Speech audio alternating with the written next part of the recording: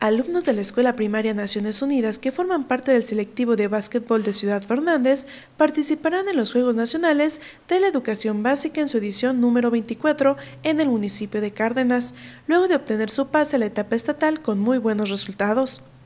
Al despedir al contingente y dar el banderazo de salida, el presidente municipal de Ciudad Fernández, Marco Antonio González Jasso, expresó su interés por continuar apoyando y promoviendo el deporte en todas sus disciplinas y que los deportistas fernandenses representen al municipio en competencias de alto rendimiento dentro y fuera del estado. El director de deportes Gonzalo de Jesús Rodríguez Medina comentó que Ciudad Fernández es un referente en el deporte en la zona media y el estado y por eso ha sido tomado en cuenta en reiteradas ocasiones para ser sede de eventos estatales e incluso nacionales, en donde el municipio junto a sus deportistas han obtenido importantes logros. Dentro de las actividades de la educación básica, hablando deportivamente,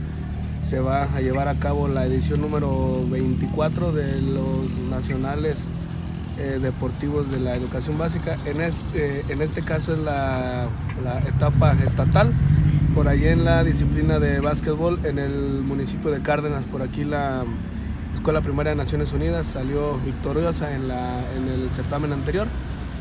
por lo cual ellos pues bueno tienen el derecho de, de asistir a la etapa estatal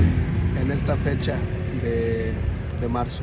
Por su parte, el entrenador y maestro de educación física, Juan Gabriel Acosta Lara, mencionó que hay grandes expectativas de obtener buenos resultados y el pase a la siguiente etapa, ya que los integrantes del selectivo han demostrado un gran compromiso durante la preparación y entrenamiento para la competencia. Dijo que el básquetbol les deja grandes enseñanzas a todos los deportistas, ya que aprenden a trabajar en equipo, a tener respeto y disciplina, además de competir sanamente y llevarse buenas experiencias competitivas. Para Noticieros Cable RB, Ana Ramos.